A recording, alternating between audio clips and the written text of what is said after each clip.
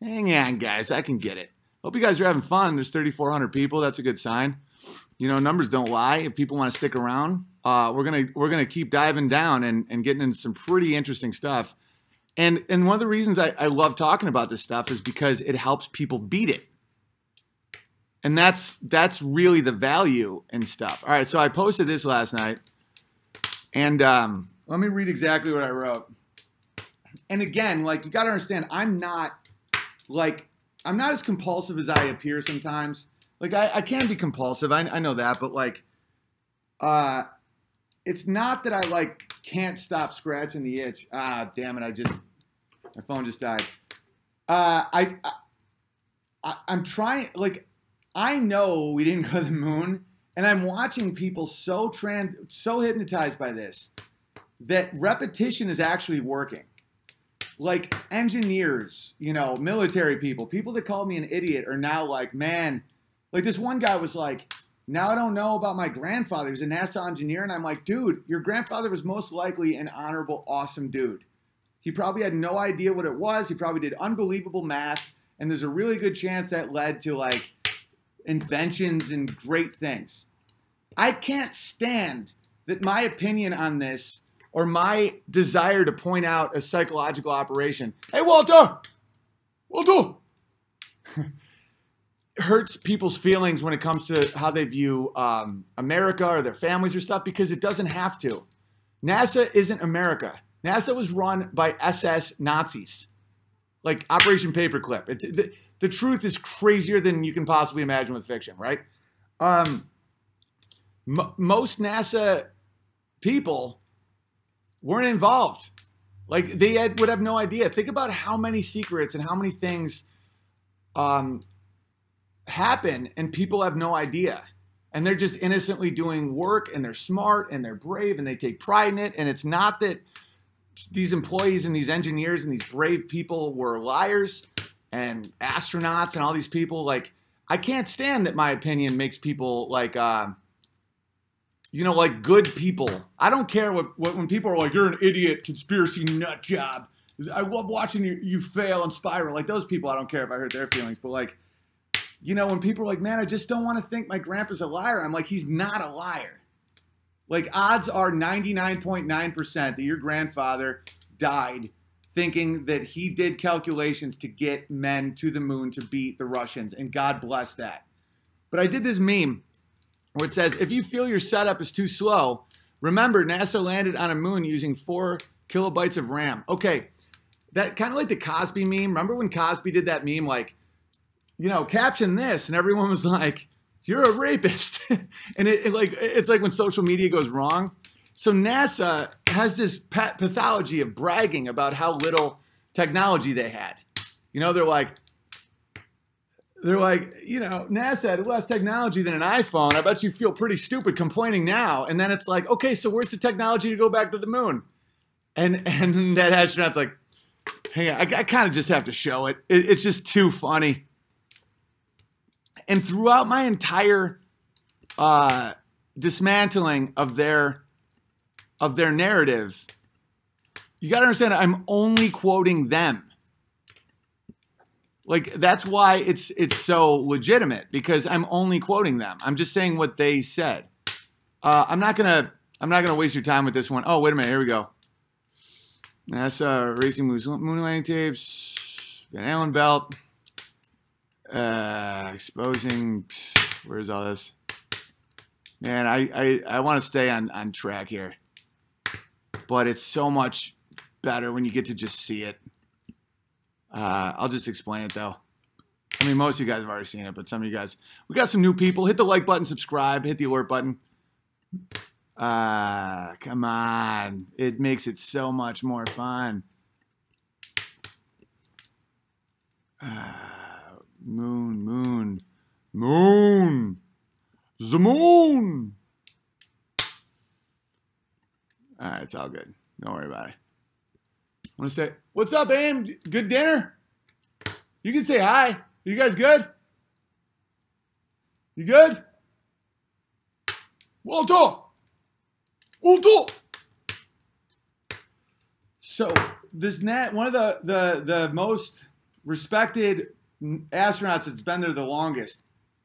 Uh, this guy, he was asked, so why don't we go back to the moon? He's like, well, we, we had the technology, but we destroyed it, and it's too painful to rebuild. And and they erased all their their telemetry data, all of it, right? They had no technology. They were doing it with pencils and paper, and of course. And by, the way, I'm going to give uh, Bill Whittle an apology because my friend just had dinner with Bill Whittle, and and I was like calling him a dickhead or something because his whole narrative was like, you know, back in the '60s, America actually worked hard and could actually finish a mission, and now everyone's so lazy and stupid. It's like, no, Bill Whittle. But my friend said he really does believe that, and he wasn't just trying to appeal to his base. And he's like a stubborn, good-hearted guy, so maybe I judge him too fast. But anyway, uh, so with they destroyed the technology, they erased all the tapes, right? And I'm going to say this the whole narrative one more time because this time it might actually work. I was talking with with like legitimate people that thought I was insane yesterday to the point where they're like, "Dude, I can't believe we might have not went to the moon." So so with with less technology than a wristwatch, they send people to the moon. And let's not talk about the Van Allen belt. Let's not talk about you know shooting from the moon. Let's not talk about any technical thing. I don't require any of that information or any of those points. Let's talk about things that no one can say. Oh well, you know, experts. Because even though I'm quoting NASA, it, I, I don't require any of that. Okay. So, in the heart of the Cold War, you know, us and Russia neck and neck. Russia's ahead, we're ahead. Russia's ahead, we're ahead. Stakes couldn't be higher. You know, the red, the red scare, communism, death to the West is spreading. We have to beat these people. I totally get it, right?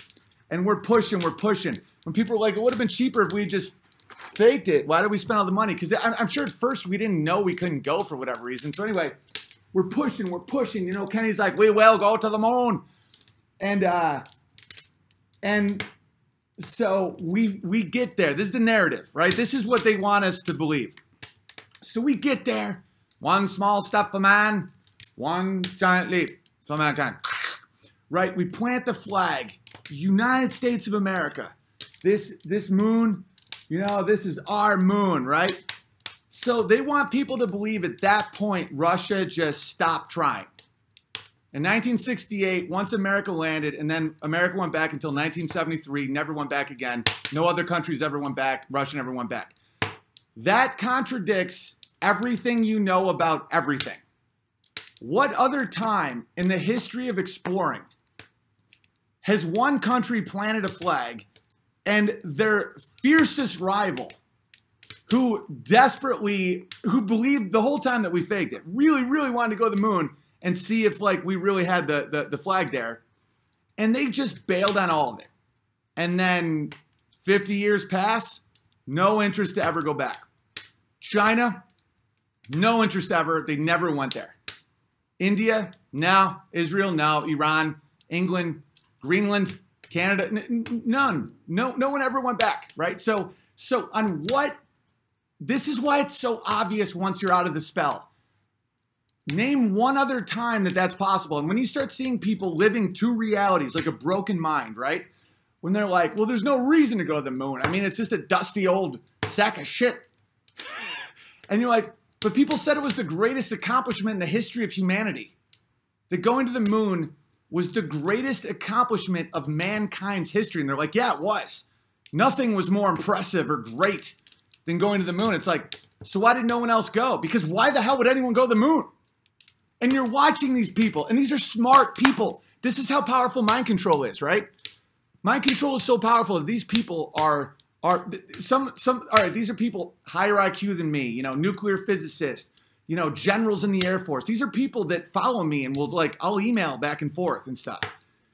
And they're like, this one engineer yesterday, we're going back and forth, and he's like, "Well, the engineering is actually quite easy because he thought my whole angle was that, you know, that that that just that ridiculous looking nonsense machine uh, flew through radiation and deep space and all that, and so his immediate, you know, argument was like, the, the engineering is not that hard. You know, I'm an I'm an engineer, you're not an engineer, so you have to trust us on this. The engineering is not that hard. So I'm like, if it's not hard." why why don't we have the technology uh, to go back? He's like, well, we could. It's just really expensive and it's it's very dangerous. So I'm like, okay, well, if it's easy, how is it also hard and dangerous and expensive? Like, we didn't have we, ju- we just got the digital wristwatch. We now can have uh, you know, altered reality universes and things we put in our eyeballs. So it was easier then. He's like, no, I mean, you, you don't understand the engineering behind it. I'm like, I don't need to understand the engineering behind it. Why has no one gone back? It's like, well, we don't have a desire to go back. It's like Ronald Reagan, Bill Clinton, George H.W. Bush, George W. Bush, and Barack Obama all promised to go to the moon and they all canceled.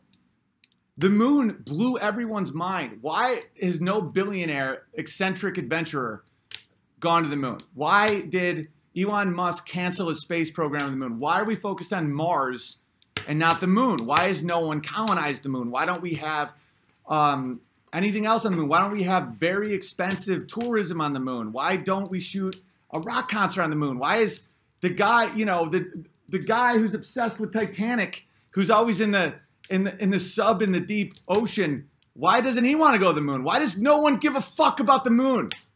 And at this point, their brains aren't working properly. They're like, well, I mean, it's just, I, no, the engineering, it's like America. And I'm like, dude, I'm not anti American.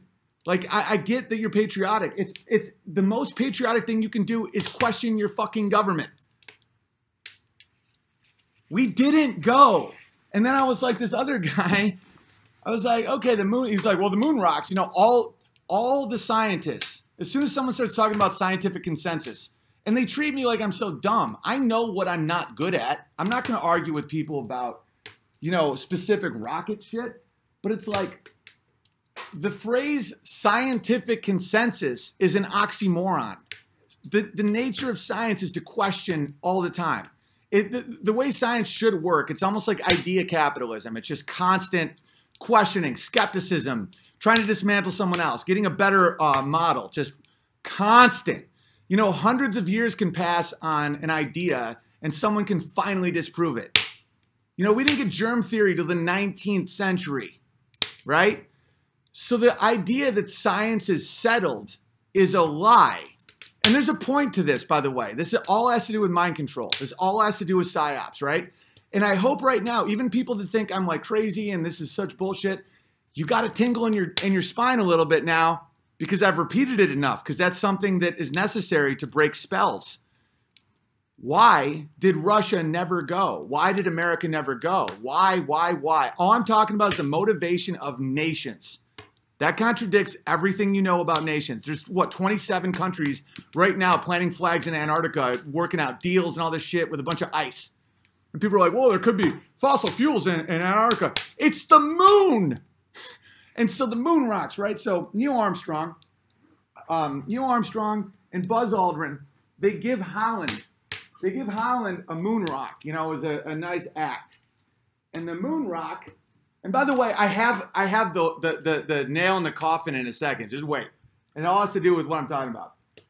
The moon rock that we give Holland turns out to be petrified wood right? And of course, there's already a, a, another reality narrative. There's already news stories that say some other guy lost his petrified wood, you know, uh, whatever it is. Uh, you, you barely need to even try to get people to be like, oh, that makes total sense. Just don't, just, you know, I, am not, I don't want to be shamed or humiliated. I don't want to look stupid. Please don't let me look stupid. I don't give a fuck if I look stupid. I will take people telling me I'm an idiot or I'm a racist or I'm a full of hate or I'm like, you know, a moron, and my wife's gonna leave me, and I should kill myself, and all, I've got my whole life. It's like I don't give a shit. That doesn't affect me. That's why I have value. And and so petrified wood, right? Now, all the other moon rocks, like the moon rocks, they have traces of brass and a type of uranium isotope that comes after nuclear fission that's found all over the earth. You know, there's certain things that once nuclear bombs went off, there's like tiny, tiny traces of like somewhat radioactive something throughout all the stuff in Earth, right? So the moon rocks have brass, titanium, and this weird isotope. Those are man-made elements. How is how would you possibly explain that? And so this is when things get dicey. That that's when people will go towards aliens. They say, well, we never left the moon. It's all been secretive. We have all this uh, black ops money. That's where all the trillions have gone from the. Uh, and that very well could be true. There's just no evidence for it. And I'm not actually drawn to conspiracy theories. I'm drawn to truth, and I and I'm obsessed with uh, killing wizards intellectually. So, so now you have a rock that has man-made elements in it. It's not from another world. The, the, the easiest so the easiest answer is it's from Earth. So no human being, no corporation, no country acted the way they normally act when it comes to the moon landing. We never went back. The MIT tapes say that there's they never bring up the Van Allen belt. They never bring up any kind of, of shielding they need for radiation because they didn't know it existed yet.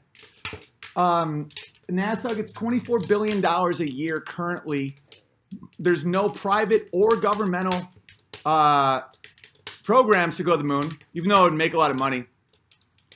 They deleted all of the uh, data that proved we went to the moon because they said they had a budgetary problem in the 70s and had to uh, tape over the tapes. And uh, we no longer have the technology to go to the moon, even though the wristwatch had not yet been invented fully digitally.